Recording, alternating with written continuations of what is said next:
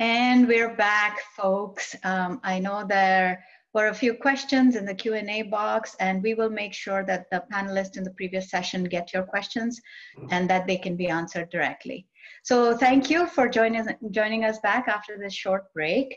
And our third and final segment is extremely important to all companies because we're going to be talking about perhaps their biggest asset, their employees, not just their current employees, but future workforce.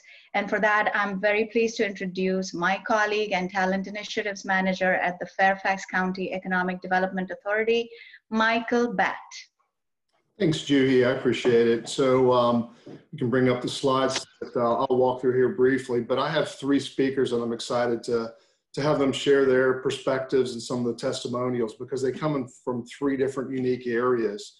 Um, one is um, Ashley Hoffman. She's the Vice President for Marketing and Strategic Partnerships with a company called Brazen. They're headquartered right here in Northern Virginia and focus on virtual recruiting software. So tell me that's not going to be a hot topic for us to talk through. So I'll have uh, Ashley share some topics there. We have Andy Galloway from uh, PricewaterhouseCoopers. That's a multinational professional services and big four accounting firm I asked Andy to come on and speak. He's a recent college grad, and I wanted him to share a story of, of graduating from college, coming and working for a, a great company here um, with offices in the Northern Virginia region, and what that experience has been like for him as a recent college grad. And then also, um, and uh, Andrew Hootman, who's the director for market operations and across Northern and Central Virginia for Aerotek. They're a a global recruiting and staffing leader and, and focus on workforce management. Um, so I think we've got three different unique perspectives here and hope you'll enjoy their conversations. If we can go to the next slide. Um, what I want to do before I bring them on just to speak is make sure everyone's aware of the Talent Initiative program that we have launched here at Fairfax County Economic Development Authority. I'm the, the um, programs manager for this. It's it's a, a, multi-year investment by the county that we're excited. It couldn't be better timing for it to be launched at the beginning of our fiscal year. Um, and I wanted to, you know, this is all about you know attracting talent um, to our region. There are still a lot of high-paying jobs here in the region, even uh, with COVID. So I want to just share a couple of uh, of key points on this initiative, and then I'll I'll uh, bring up Ashley. But so launched it in July, the beginning of our fiscal year with the charter of, like I said, bringing talent management to the area and making sure we promote the region, the entire region as a, a great place to live, work, and play. And so the first thing we did is is uh, brought on a marketing company that helps focus on workforce development for municipalities. So we're excited that we've awarded a contract and brought them on for a multi-year effort. We've launched a, a talent initiative website that I'll show here in a second um, that's all about you know live work play continuing your education in the in the region. Um, and then we're partnering with some some different organizations on developing upskill programs and just continuing continuing your education. A couple of examples of that are northern virginia community college has partnered with amazon web services and created a, a cloud associate's degree program. Um, and they've just graduated that first class. And so we're excited to partner with them to help promote and help get those students uh, integrated into the workforce uh, here in Northern Virginia. Um, and then secondly, another example is there's a, a not-for-profit out of Tyson's called Skip International that's developing a program to meet the Department of Defense's new cybersecurity um, requirement that's going to launch at the end of this year. So that's going to have a great opportunity for um, veterans, people with clearances um, to get trained to meet those cybersecurity requirements and help those companies around our region that focus on selling to the DoD um, audit and make those uh, meet those requirements or potentially join those companies. And then finally, um, uh, just on a highlight for some of the current initiatives for this program, we have contracted with Brazen, and Ashley will touch on, on again on Brazen here in a second, but we've contracted with Brazen Technologies to do two virtual career fairs to start with. Um, the first one is going to be uh, next week on the 28th, and that's going to be focused on college career graduates. So we're, we're excited. We have 10 companies lined up um, that are hiring right now. Um, and we'll have, we are, uh, we've reached out to the career offices from every one of the regional universities. I mean, even expanding out across the nation. Um, so, um, and we'll move on to the next virtual career fair that'll be in the late June timeframe. And that'll be more for seasoned career workers. So we want to make sure you stay tuned for that. Um, because what's what's really key on these initiatives and the virtual career fairs and a lot of what we have going on, even with COVID, Northern Virginia, you know, we're at the doorsteps of the largest procurer of products and services in the world with the federal government. There's still 35,000 open positions that are hiring at six figure high incomes out here right now. So we want to make sure that we're doing our part to help um, those companies fill those positions and help folks that are uh, looking for positions um, to fill those. If we can go to the, the next slide. So Talent Initiative website, encourage you to go check this out. It's, you know, workinnorthernvirginia.com. This is based on an uh, initiative that, that uh, we uh, launched a, a, number of months ago in partnership with um, all of the jurisdictions EDAs. It's really to um, promote the county um, as well as the region. So we're partnering with all the, the county um, economic development authorities. And this site is really meant to um, uh, promote the region. And it's really, it was built to promote the region for you, our great companies um, in Northern Virginia. It's, and so this is a great tool for you exploring, you know, the different communities to live in. Um, it has a cost of living calculator because again, we're pulling in and promoting from across the region, from across the US and across the, the globe. Um, we'll have uh, fe uh, uh, featured jobs um, promoted on there on a weekly basis the continuing education programs I touched on. And so there's a lot here that we want to make sure you, um, you seek and learn about. To include that uh, virtual career fair, we have that posted on there too, so you can get the details and promote and register for that upcoming virtual career fair next week. Um, so please provide your feedback to us. Let us know how we can help improve and, and uh, continue to develop this site because we built, it's built for you our companies um, here in the region. So let me shift gears now as um, I ask Ashley to uh, un, uh, unmute her phone and, and uh, come on live with her camera. I want to uh, ask one quick poll question as we, we go to Ashley. And that question is, you know, how, you know, how did the hiring changes for your organizations change, you know, during this pandemic? You know, have they changed? Um, here's a few different uh, scenarios. So we just want to hear from you on you know, how, how this time has, has changed for your organization from a hiring standpoint.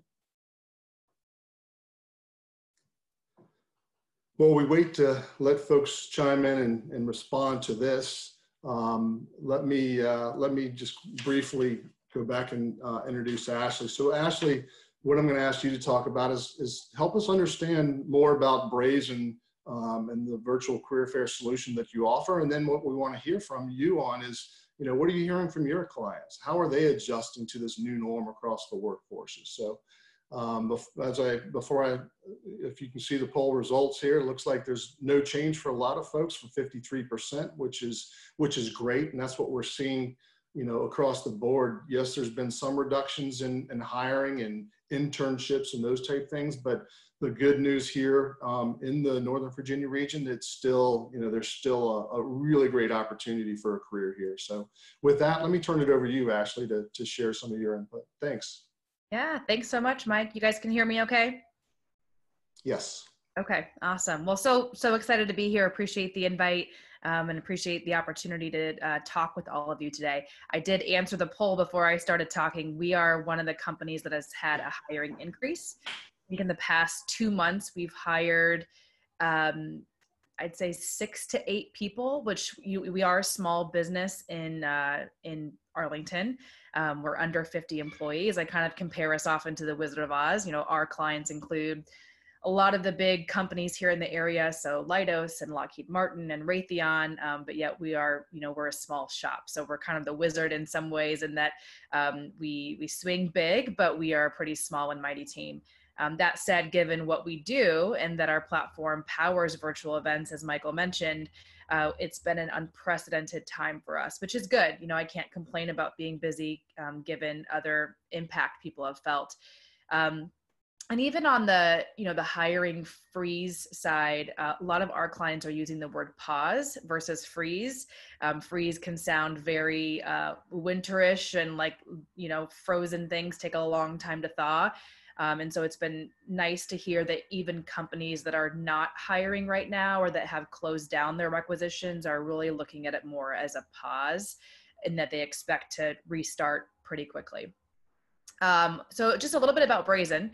Um, I've been at Brazen, it'll be nine years in June. So I was uh, employee number three, if you think about where we are now from a company, lots of small pivots and different people coming in and out in the very early days. But once we establish that footing of, of who we are and what product we have, um, I've watched the company grow and been part of it from a team of three people, you know, sitting across from a CEO in a small room in Tyson's Corner um, up to where we are now on Wilson Boulevard in Arlington with a team of about 50 and the clients I mentioned. So it's been a really exciting time to be there.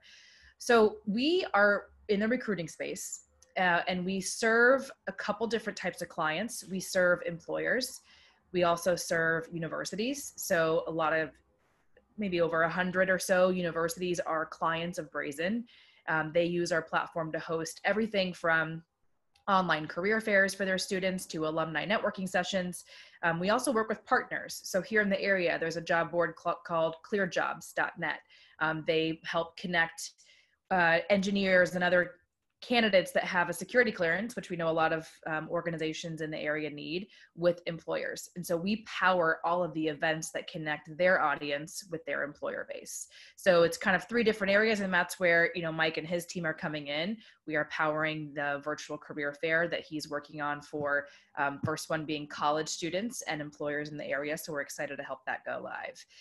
Um, it's you know it's been a interesting time just major impact from all businesses. You know, every day I'm confronted and talking to a business where I am exposed to like, wow, didn't know COVID would have that impact.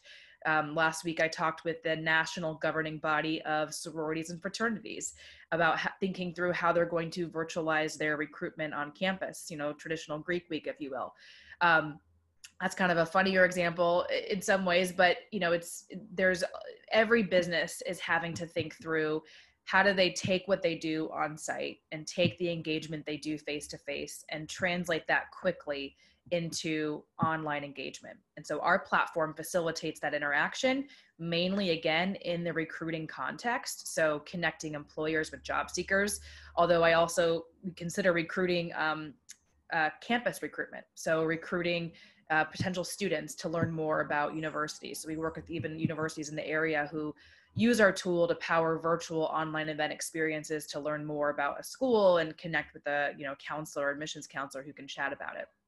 Um, i'd say if i think about you know the hundreds of clients and prospective clients that are in those three areas that i've talked to over the past two months a couple things do stand out that might be helpful just to um, you know sum up for everyone here. I know you're all from maybe different types of businesses or different roles in the organization um, but you know, the, the three themes, I guess, that really stick out to me um, one would be agility and just moving quickly. Um, so, an example I have is Duke Health. They're one of our large healthcare clients. They're a new healthcare client. Um, they had a major uh, in-person nursing career fair planned for like right at the cusp of when we all knew how to say the word COVID a bit too well. Um, it was like March 12th. They had about 500 nurses signed up. They had rented the Duke basketball stadium. Um, huge visibility. They had their you know C-suite of nursing executives all planning to attend, and they had to make the call pretty quickly that it was no longer a safe or maybe wise thing to do given how COVID was developing. So I think they called me on a Wednesday, and by the following Friday, we had three different virtual events set up for them with 25 departments in there. And what I was impressed about was that their leader, the risk that she was willing to accept. Um, she knew that things were not going to be perfect. Um, she knew that she was accept, accepting some risk to move something so, you know, with a high visibility um, onto an online platform. But all of that was outweighed by the need for nurses and the the world they knew they were kind of heading into over the coming weeks beyond that date. And so they made that kind of call of is it better to potentially have a total failure uh, maybe the platform goes down, which obviously never would, but you know they didn't know that. Maybe our candidates hate it. Maybe no experienced nurses sign up because they, you know, they won't be comfortable on an online tool. Maybe our hiring managers will hate us and we'll get a bad name internally for trying to put this on. So you know there were a lot of hesitations and fears out there, but the you know the promise of but what if we could still make hundreds of hires for nurses? What if we could still offer a really good candidate experience? What if people loved it and we decided this was the way that we were going to do a lot of our recruiting events moving forward? That outweighed those hesitations. So I'd say, you know, calculated assessment of risk versus reward and then moving fast to get in that area. So the leader over there, the director of talent was able to really galvanize support from her team and just kind of let everyone know that we were comfortable with with failure. We were comfortable with having this not work but the effort was the the potential reward on the other side was worth it regardless. So you know in the end the disney story is that it was a huge success. They've made over now 200 hires from the series of three events. They did over two days. And at the end of the day the you know duke health has the nurses to support what they're going through right now. And so they serve the community. They did it in a safe way and they did it by kind of acknowledging some major risks that they were headed into but that you know again that reward was pretty high. Um, so that to me stood out as just a great example of a company balancing that risk versus reward and then moving fast um, even though they couldn't remove all the doubts or hesitations they had in their mind. Um, another theme that I would say um, is is something that I talk a lot about to my clients, which is it's a di- you know I don't have to say this. It's given. It's a different world. Um, moving something from an in-person engagement to online is different, and so I'm not super interested in trying to replicate everything a client does to get to their desired end goal when they move it from in person to online. I work with my clients to have a collaborative discussion around you know what is the end you're trying to get to so if we go back to that duke health example the end state is we have nurses in our hallways who've been hired the means to get there are very different so i might i have some clients that call me and they're frantic or a new client and say we got to figure out how to do this online. Here's how we do it. We first go in the hallway and then we have 15 different people we talk to and then we do this or that. And I I totally get that need. I mean, it's it takes some brain work to kind of rethink how to get there, but I would just encourage all of you and even at our own company we're encouraging ourselves to not think of how do we how do we replicate the business as usual in a different way, but how do we do something in a different way to get to the same goal? And and that alone that little shift in thinking i think can be really helpful because what happens is if you try to replicate everything you end up missing out on some of the benefits that a new medium might bring to the table. Um, and you also fail to acknowledge maybe some components of the weaknesses in this new medium and how you're going to address them um, maybe if you can't fully replicate. Um, so I, you know, I think that's a good theme to remember is just, you know, focusing on the desired end state and, you know, not trying to look at how can we 100% replicate this, but how can we take advantage of a new medium and kind of put it in its own track and work within that track to make it the best they can be and, you know, play up the strengths of doing something online, play up some of the efficiencies, play up some of the cost savings. Um, for a lot of our clients, you know, even though if they're new, they're investing in a new tool with us.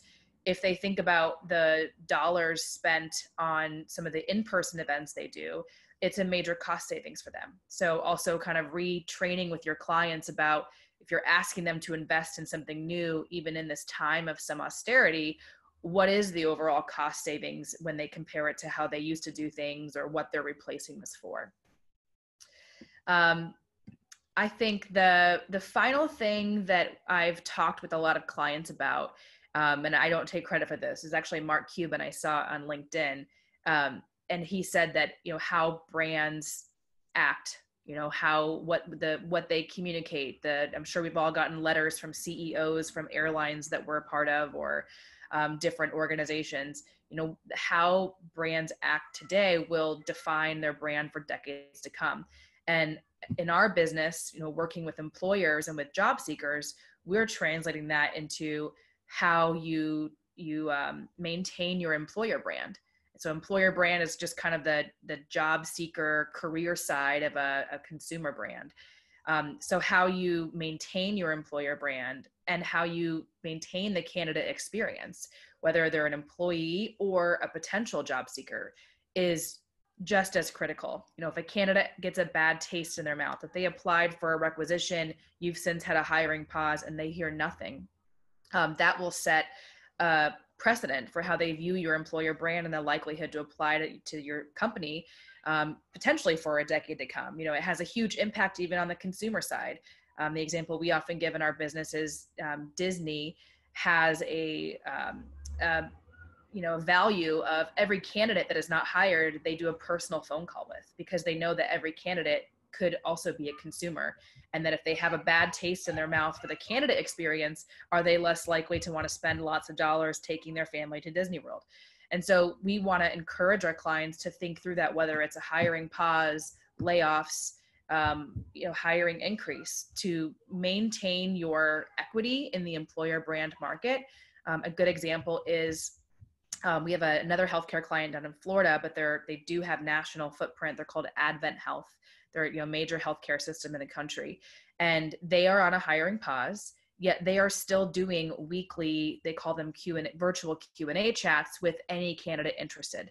They actually have a chat just called um, "Displaced by COVID-19." You know, obviously in Florida, they have a lot of candidates that are been displaced from hotel brands, and so they're maintaining that brand equity because they know that it's not a freeze it is a pause they will need to restart. And if they can make a positive um, perception with candidates of who they are as a company and how they treat candidates that will pay dividends when they go back to hiring and going back to competing with those same hotels to hire a custodial worker to hire um, someone to work in the cafeteria all the way up to a nurse practitioner um, so I would just encourage everyone on here on the call today to think about that. I know it's challenging given all the added stress we're all going through, but um, employer brand is important. You spend a lot to um, get there.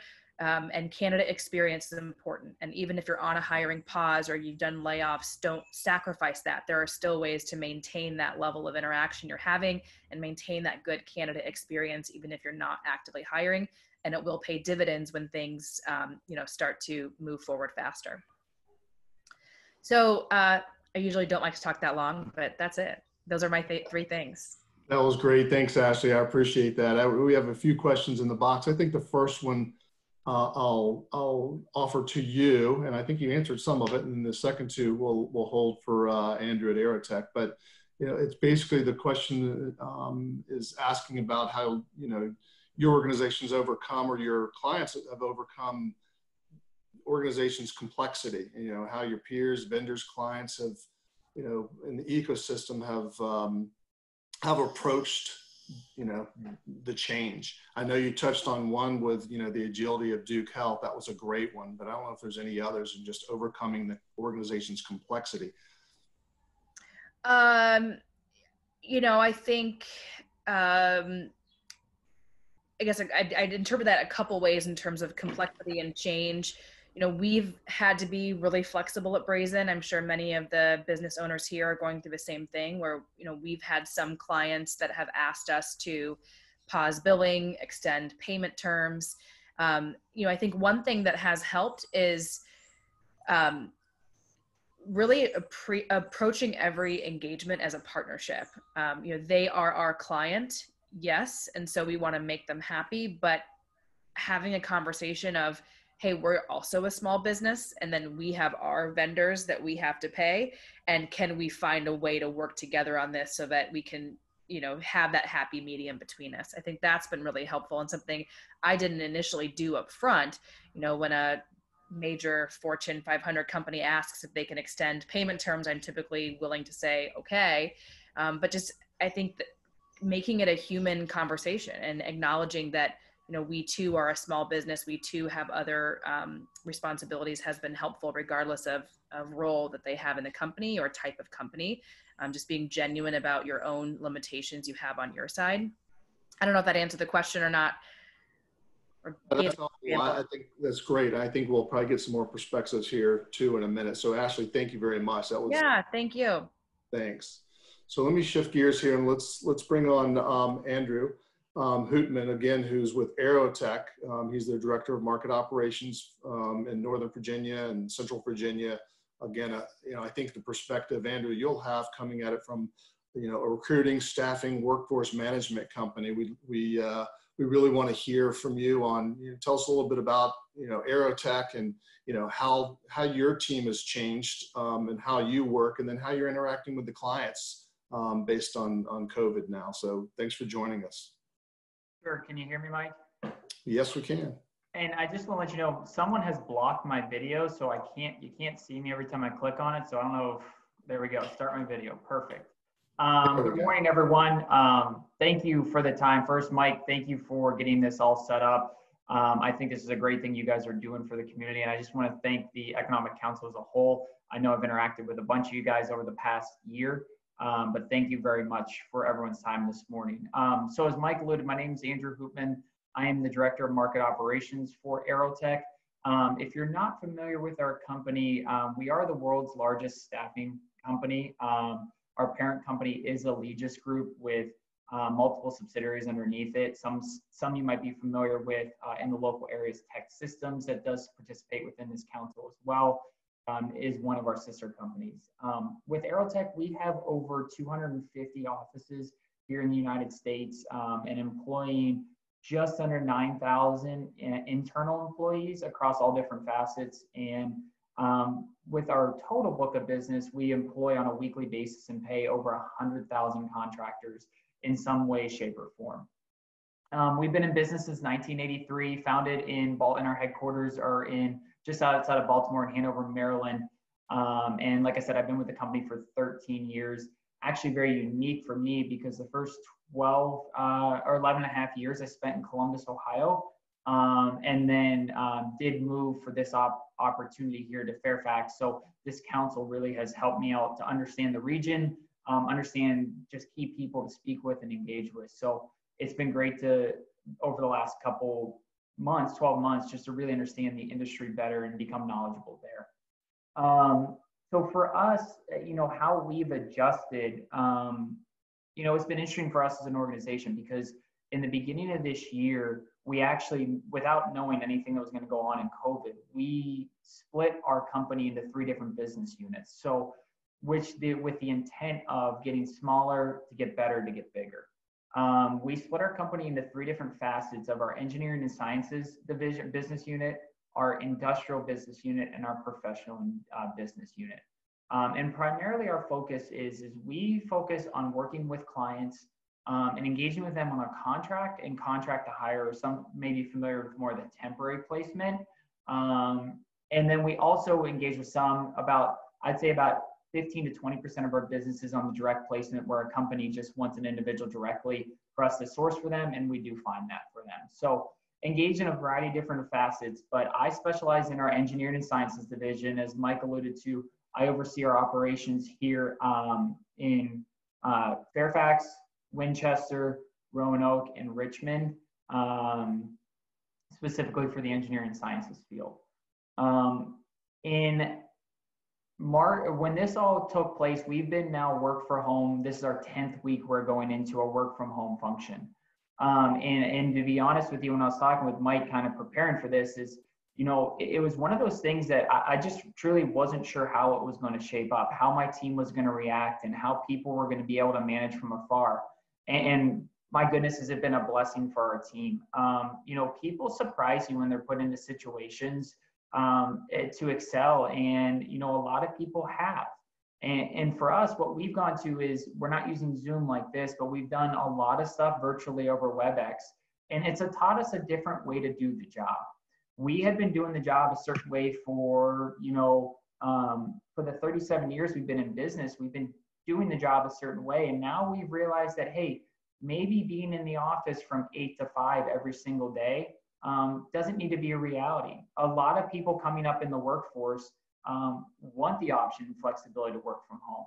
So this has excelled us into um, that that state of business. We also have been, we've had technologies that our companies invested pretty heavily in uh, within CRM platforms, and we were probably only utilizing it for a small portion of what it could be utilized for. And us working from home now, we've actually been able to get much more ingrained with our business partners, um, not only internally, but with our clients, because we're utilizing the technology for what it's truly worth, and everyone's utilizing the technology for what it's truly worth. Um, you know, as alluded to, some themes that I think of for us is, you know, the first and foremost thing for me is empathy was the one theme that we had to look at. And it's leading with empathy, not only internally, but with our customers, because we deal with customers that are five people startup companies. And we're also dealing with the large companies like your Boeings, your Raytheons, um, your Northrop Grummans, and Lockheed Martins. Um, so every single individual and every single company is handling this differently. Um, so it's just understanding and being able to meet people where they're at and not necessarily talking with about business all the time. Um, and just making sure people are okay um, and that their families are doing okay and that their companies are doing okay. Um, the second theme for me has been mindset. Um, it is very easy when you're in an or you're in an environment where you need to be self-disciplined um, that you have to have the right mindset to do this job. I've been reading a lot of books recently, and a lot of them have been around mindset and just different ways to approach mindset. And it's the the growth versus the fixed mindset. And the one thing I've been focusing on with my team is getting out of the fixed mindset and getting more into the growth mindset of, hey, this is how we're going to do business moving forward. One theme that I've said around mindset for my team is we need to redefine what is possible. Um, and that's kind of stuck with us since we've been in not only this business unit shift for us, but with this COVID pan- pandemic, is we have to redefine how we're going to do business. And that, hey, saying this is the new normal and just being able to accept that has gone a long way with our team. And the last piece for us is leadership. For me as a leader, um, I oversee quite a few folks uh, from both sales and recruiting functions. And this has allowed people to step up and me for me to be able to delegate to them different responsibilities and we've actually seen quite a bit of growth not only personally and professionally for individuals but in the overall operation because I, have come to the conclusion I don't know everything and I'm not the smartest person in the room, but collectively now we've got a lot of brilliant minds speaking and thinking and taking action um, that in the past they might have sat back and waited for someone else to do it for them. So we've seen a lot of positives coming out of this. We've also seen the kind of Mike to switch gears of like, hey, how have your customers adjusted? We've in the engineering and sciences business unit, we've had a both a mixture of customers that have put stuff on pause, but a lot of our customers have continued to either hire or continue to employ their people because they have the option of working from home as well. We have seen a few things where customers are staying keeping their doors open just due to the nature of their work and being classified work they need to be in certain locations where it's secured. So the customers have kept their doors open, but adhering to the social distancing guidelines set out by the CDC. Um, we are seeing it was, you know, for the month of March, um, we saw a little bit of a pullback in hiring um, and a pause in hiring. But what we did was we shifted what should we be focusing on? And for us, it may not have been placing that software engineer at a government integrator, but we looked at as how can we help our community? And how can we help these people get back to work? Prior to COVID in February, we were at unprecedented low in unemployment. I mean, some of the skill sets in this area, it was under 1% of unemployment. Now we're seeing record highs. So, how do we get these people back to work? And one of the approaches we looked at is to keep not only the community safe and doors open for companies, we started placing medical screeners at companies on a contract basis where they're at the forefront, screening people before they're coming into office buildings or manufacturing facilities. A different way to redefine what's possible and changing our business mindset to helping our customers within the community.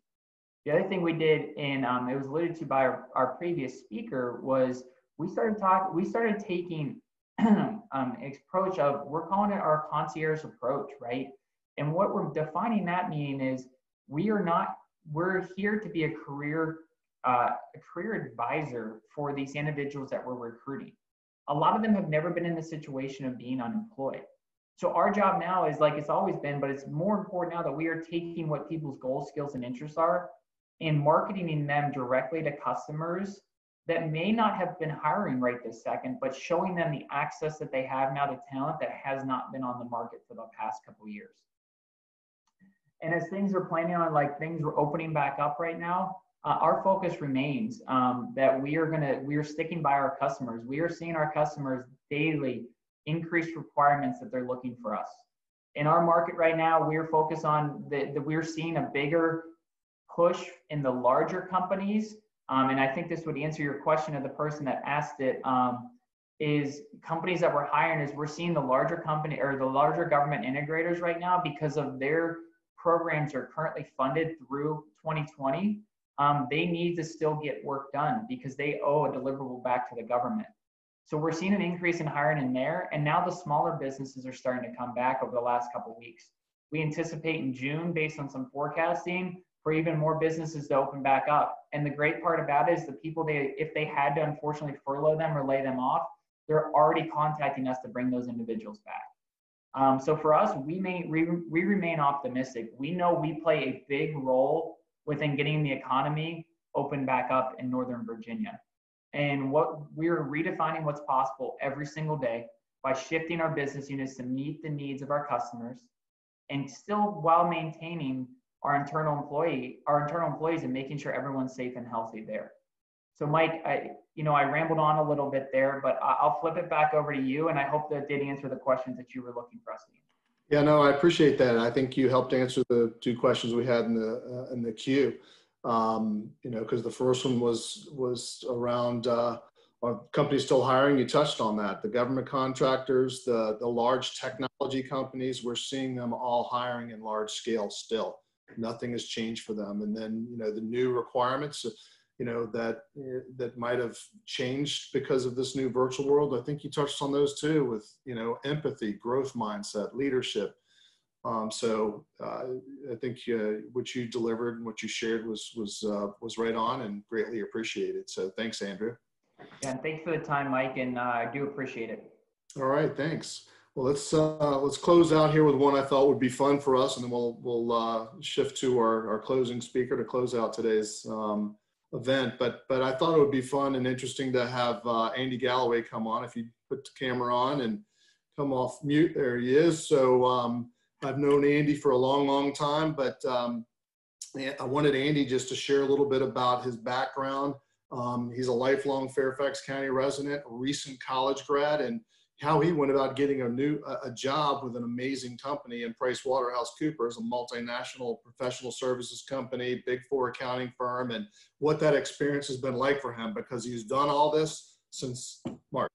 So it's a very interesting scenario. I thought it, it, it it's it's I think uh, a positive story on how companies, people, everyone's adjusting and, and moving forward. So Andy, thanks for coming on and. Uh, just give us a little bit about your background and, and your experience and and where you where you went to school and your experience and how you just joined on to uh, PwC. All right, thank you, thank you for having me here, everybody. Um, so yeah, as Mike said, I'm a lifelong um, Fairfax County resident. Um, I lived in Reston my whole life, pretty much. Um, I went to Herndon High School, graduated in the class of 2015. Um, after that, I went to Clemson University in South Carolina and that was pretty much the best experience I could ever have had. Um, I would I had two different degrees. I had a degree in financial management as well as management with an emphasis in business analytics. I also had a minor in accounting. Um, and after I graduated, I kind of came back to the area.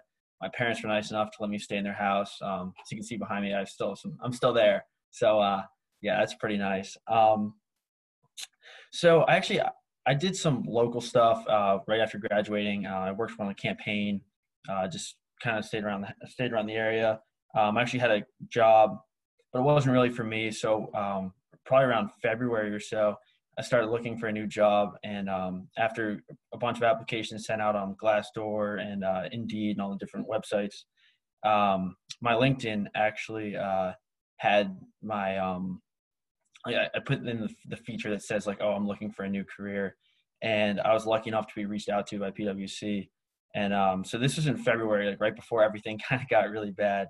So I took a couple phone interviews, took a couple tests, and they decided they wanted to have me in for a personal interview.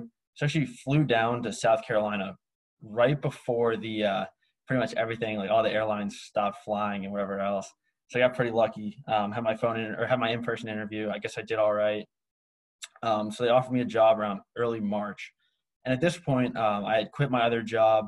So I thought I had a whole month off, and then I was going to start my new career. And then everything kind of went crazy. Um, so yeah, so I thought I was going to have some time to relax and do whatever, uh, maybe watch some March Madness. And then, as everyone knows, that just didn't happen. Um, so in this time, they sent me an email saying that I would be onboarding. My first day would be in Atlanta. Um, and that first day, like I guess they give you your, your computer and they talk to you about the company and they tell you what you're going to be doing and whatever else. And so I was looking forward to that. And then I realized like this probably isn't going to happen. Um, I wouldn't be able to get a flight really, and like they probably don't want a lot of people com- uh, meeting together like that. So I was getting a little nervous about that. And then one of my good friends, actually, he's another Clemson grad. Um, he's from Maryland, and he his job got or he finally got an offer for a job. He'd been searching for about a year, and that job offer got rescinded. And I was thinking, oh no, like that could happen to me. Like that would be terrible. So I started to get a little nervous. I actually emailed my recruiter asking like, hey, like I haven't heard anything back. Like, am I gonna be out of a job? And um, she said, no, no, like we we are working on a way to make this work digitally. And uh, I really am got lucky that I got such a great company that they could change everything, become digital. Um, so anyway, they they asked me for my email or for my excuse me my home address. I gave them my address and they actually shipped me my computer as well as some login instructions. So I was able to log in to my computer before my first day, and everything was looking good. Um, that first day was probably the only time I've ever been. I was a little nervous about like what was going to happen. Um, so I, I, woke up at like seven or whatever, got ready, looked reasonably presentable. Um, start got on my computer at eight o'clock, and I pulled up my work email and I pulled up my personal email on my personal computer. I was just sitting there looking like, what am I going to be doing? Because like they, I can't ask anybody for help. Like I don't know anybody. It's not like you go into the office the first day and you can talk to your neighbors, or you can talk to your boss. I didn't have any contact information for anyone. So I was sitting there like, oh no, this is bad. But probably around 9 a.m., I got like a couple invites for like Google Hangouts and other video conferencing. And that's like when everything kind of switched. Like you can tell PwC was prepared for this. Um, they basically turned that onboarding process that was supposed to be in Atlanta. They made it all uh, virtual and they did it in such a good way that like you got a chance to meet all the other people who were onboarding with you just as if you were doing it in person. While they didn't like they didn't miss out on any of the information either. Um, they, so they had all that put it in like powerpoint form and helped present it in a good way um, as well as making themselves accessible. So if you needed to email them ask questions you were able to do that. I really appreciated that. Um, also towards the end of those presentations they express that they have they do like a buddy system as well as like a meant like a mentor system. And I was thinking like, oh, that probably won't be that helpful. But then I realized like if you need to ask questions or anything, like if you have a simple question, you typically could just ask your neighbor at work, like, oh, what what is you doing now? And they would be able to help you out. But virtually, I mean, there's no one to ask. So my buddy actually reached out to me and uh, he was about my age and he said basically um, want to hop on a video conference and i can just talk to you about some about the company and help you like figure out what you're doing and that was just so invaluable that I was able to, to be kind of face to face with someone, especially during this time, and uh, get some help and really kind of figure out what I'm supposed to be doing. Ask him any questions, and I really appreciated that. Uh, also, my my mentor reached out and basically talked to me about like what I should be doing for projects as well as other things, uh, how onboarding like the best, most um, effective way to get it all done, as well as retain all the information.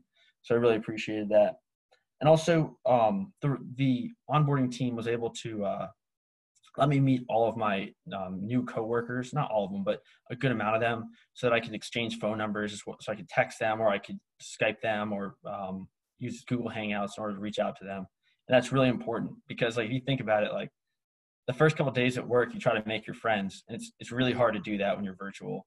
Um, because again, I'm sitting in my parents' basement, so it makes it a little tough.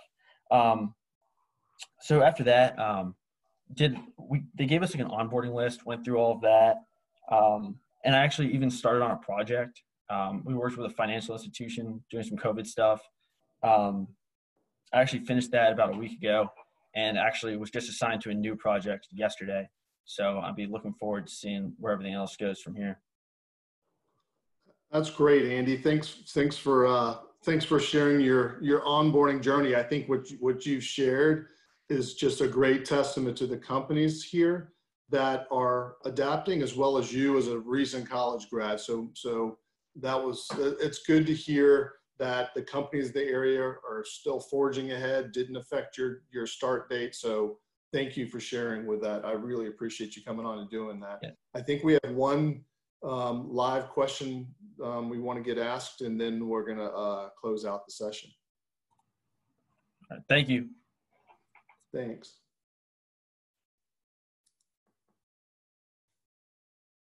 Is there a question that we have a live speaker? I think we have Catherine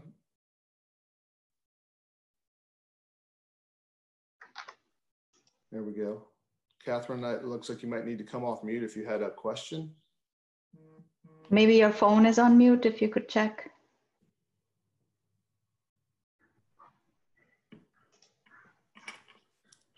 Well, we might have to just have this one uh, typed in. So um, uh, I want to close out the session by thanking everybody for uh, for participating today. I, we had three great speakers here. I'm going to turn it back over to Juhi to, uh, to introduce our closing speaker. So thank you. And thank you, Mike. It was really good to hear everyone's stories, especially Andy, you and your experience. That's, that's really great. And it's good to have that positive experience in your first job. So to sum it all up for us, I'd like to invite the Executive Vice President of Fairfax County Economic Development Authority, Mr. Alex Iams. Thank you, Juhi. It's great to be here. I'm so impressed with the event today. It's really a testament to the quality and depth of Fairfax County business community that we were able to do this um, and showcase the expertise that uh, we have here.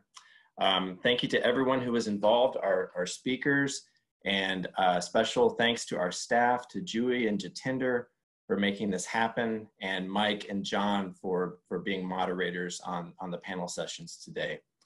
Um, I think you know some of the things that I, that I took away is just that we are we are at a major pivot point in the way that we work, um, and the investments and the time that we're putting into what we're doing right now will really pay off in the long run for for our businesses, and it may actually serve to optimize how we work and how we communicate with each other, um, and translate into some long-term positive shifts in in our business practices a couple messages uh, from from speakers in particular that I that I took note of. Uh, Tom, I was listening to every word that you said about how uh, attorneys are changing the way that they work, and I'm I'm fascinated by that.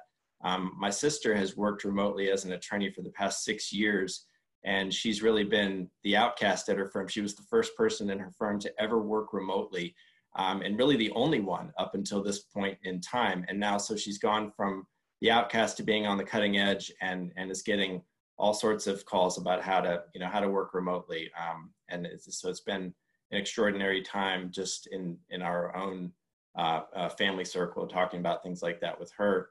Um, ashley you know you were spot on with what you said about what we're doing now and how it'll be remembered in defining our brands going forward. And the things that everybody's doing to to connect with their clients right now. Um, we're connecting in in new ways and making every effort to help each other out. Um, and so I think that we're we're making the most of, of what is otherwise a, a, very difficult time for our entire country. And and Andrew, um, I really I, I heard what you said, and I really agree that the key theme is is adaptation and and redefining what's possible. Um, it's actually kind of kind of exciting and eye-opening uh, what we're able to do you know uh, when when we're we're pressed um, to to do things differently and reshape how we operate. So um, it, it is an exciting time in, in that way. I'd like to just close with some updates from EDA and the, and the number of ways that we've responded to the crisis. Uh, number one, first and foremost, connecting businesses with resources and other forms of assistance and how they're how they're pivoting and adapting uh, we, we had done a survey, we reached out and, and connected with 300 businesses across the county. Um, 150 of them requested follow-up assistance, and so our BI managers have been uh, on the case and working with them on, on their needs, um, you know, uh, familiarizing them with the grant and loan programs offered at the, at the federal level um, and at the Fairfax County level. We've been doing a, a webinar series in, in, addition to this great program with the NOVA EDA, which is a, a collaboration of 10 jurisdictions in Northern Virginia. It's actually a 12 part series. We're only through three parts. So if you haven't been participating, you can, um, you can check it out tomorrow at 2 p.m., our next, uh, our next segment. And we'll have eight parts following on after that. And it's really meant to track with uh, the business experience through the crisis so we started off with the, the emergency kit, funding and financing, um, staffing, and doing what's best for your organization and your team. And now we're getting into uh, some of the things that were actually covered today about, you know, adapting your business to the digital environment and planning for, for future growth. Um, so I encourage you to check that out if, if you haven't already. And uh, the, the past sessions are inventoried on our website and can be accessed there. Another major important thing we're doing right now is connecting people with jobs. Uh, we have our, we've stood up our talent website. Uh, we're, we're making sure that there are opportunities for people who are out of work to get connected with employers who are hiring. We're doing really special things like uh, a virtual job fair coming up on May 28th. We have 11 companies participating. This one is uh, aimed at recent college graduates and current college students. So um, we encourage you to uh, uh, tune in and and see what all that see what that's all about and uh, push it out to your networks. And you, you you may know people who who might be interested in an event like this. And lastly of course we're collaborating across the region um, and with our county officials on recovery strategies like the connected dmv strategic renewal task force um, and everything that fairfax county is putting forward to ensure that business lands on its feet when when this is all over my closing thought is a message of, of optimism for everyone. Um, Fairfax County and Northern Virginia are well positioned to recover from a, a, downturn like this, a crisis like this, and we will be stronger and more resilient in the long term a, as a result. Uh, we have a diverse business base, 11 Fortune 500 company headquarters, professional service base, IT, government contractors, data centers, you name it. Um, not, not even mentioning the skilled workforce that we have um, and, the, and the types of technologies that our companies develop. For more information about any of this, anything that I mentioned, uh, the event today, please visit our website at fairfaxcountyeda.org. And I wish all of you uh, the best with running your businesses and working with your people and continuing to, to push through this. Thank you. Thank you, Alex. Thank you for that positive message as uh, we leave the program. And um, like Alex said, you can contact us at any time. You will see a slide up shortly that has our website address as well as email and phone number. We are here for our businesses. We are happy to help in whatever way we can. Well, thank you to the audience. You've been a wonderful audience. We had about 100 people logged in at every time. Just a quick reminder to please fill out the short survey that you see pop up as you leave the Zoomference and we look forward to our next event like this. Thank you very much and bye from Juhi Nathani in Tysons.